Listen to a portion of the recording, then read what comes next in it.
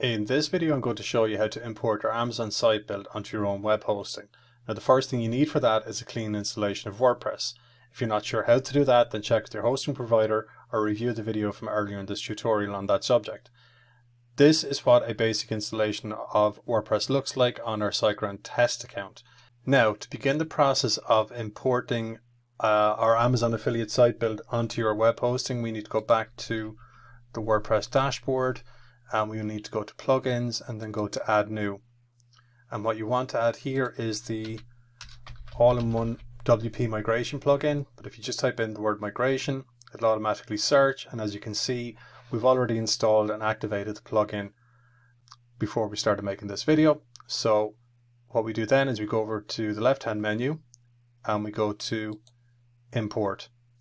Now, the site build is a separate file that you need to upload to your WordPress dashboard. It's linked beneath this video. It's about 70 megabytes in size. And to start that process, you simply click on import from, choose file.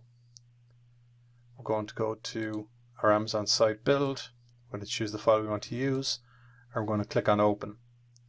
And as you can see, it immediately starts importing all the data onto the site and it says stop import. But if at all possible, don't interrupt the data as it's importing and I'm just going to pause the video really quickly to allow this to complete. And as you can see now the site import has just completed. Now there is a warning here it says the import process will overwrite your website including the database, media, plugins and themes. Please ensure that you have a backup of your data before proceeding to the next step. And in plain English what that means is that if if you proceed to the next step and this is a live site that you are currently using the build data will override everything on your site. All your posts, all your media, including all your users. So please make sure you have a complete backup of everything before you go any further. In our case, we're going to click on proceed. It's going to take a couple of moments to run through this. And as you can see now, it says it's finished. So the last steps in the process are to save your permalink structure or to review the plugin. We can leave reviewing the plugin until later on. If we click on Review Permalink Structure, what it's going to do is bring us back out to a login screen. Now on this screen, we are going to use the test login for this site, which is the username of Niall and the password of P-A-S-S-W-O-R-D. And we click on Login. And if we just check our post name, or rather our permalink structure, we can see it's set to post name, which is what I typically leave it set at. And we click on Save Changes.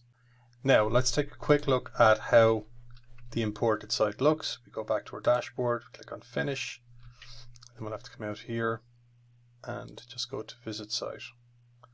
So as you can see, we have the basic outline of your new Amazon affiliate site with some elements missing. So to get the site looking exactly as it does on our our own internal demo site, you will need to install and activate premium plugins especially Elementor Pro and GeneratePress Premium. If you don't, you're not going to get the same layout that you've seen on the our own Authority Hacker internal demo site.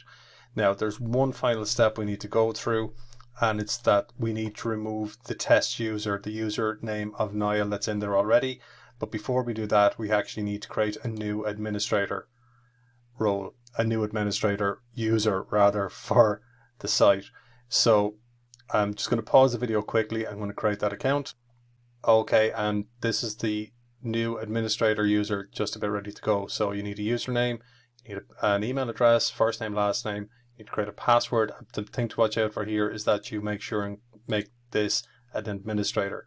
So if we go ahead and click on add new user, and once we've done that, it brings us back to our user administration panel. And what we need to do here then now that we have a new administrator account ready to go, we're going to go choose the Niall account.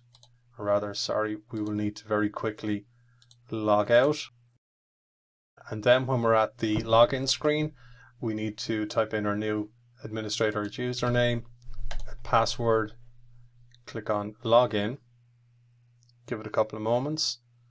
We then need to go back to users, all users, and we then need to delete the Niall account. And the reason why you're deleting the Niall account, the Niall user, is because anybody who knows that you use this build or even suspects that you use this build for your own site would also know basically that you have um, a default username of Niall and a default password of password, which is why you need to make sure you absolutely get rid of this username. So we click on delete. We're then going to attribute all content to the new username, the administrator name that we created earlier on. Click on confirm deletion, and then we're back to our user administration panel with just our default user and our site is where we left it.